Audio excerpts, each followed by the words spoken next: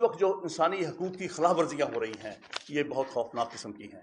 हमारी तारीख में आज तक बहुत बहुत जुल्म हुए हैं लेकिन पहली दफ़ा हमें देखने को आ रहा है कि ख़वातीन का तकदस जो है वो आ, आ, आ, वो तोड़ा जा रहा है। जिस जिस तरह रातों को खातन के घरों पर रेड होकर उनको निकाला जा रहा है उन, उनको पाबंद सलासल किया जा रहा है उनके साथ बर्ताव किया जा रहा है गलत बर्ताव किया जा रहा है ये इवन हमारी तारीख में भी नहीं है। ये तो हमने अयूब खां और ज़ियाउल हक के भी जालमाना दौर में इस किस्म की चीज़ नहीं देखी।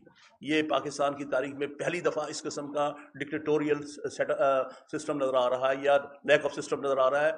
और महीनों से लोग बगैर किसी चार्जेस के वो खातन मर्द जो हैं, बगैर किसी चार्जेस के, वो जेलों में हैं और हमारे अदलिया पर ऐसा दबाव है कि उनको रिलीफ नहीं दे पा रहे।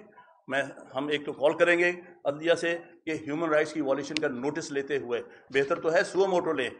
और लेकिन बहरहाल सारी सुप्रीम कोर्ट और हाई कोर्ट के सामने बेशुमार पटिशन्स पड़ी हैं, जिसमें कि वो लोग जो इलीगली और अनकॉन्स्टिट्यूशनली इस वक्त अंडर डिटेंशन हैं उन सब की तरफ़ से पटिशन डाली गई हैं। और अफसोसनाक बात यह है कि उस पर हाई कोर्ट और सुप्रीम कोर्ट के फैसलों पर खुलम खुला खिलाफ वर्जी हो रही है।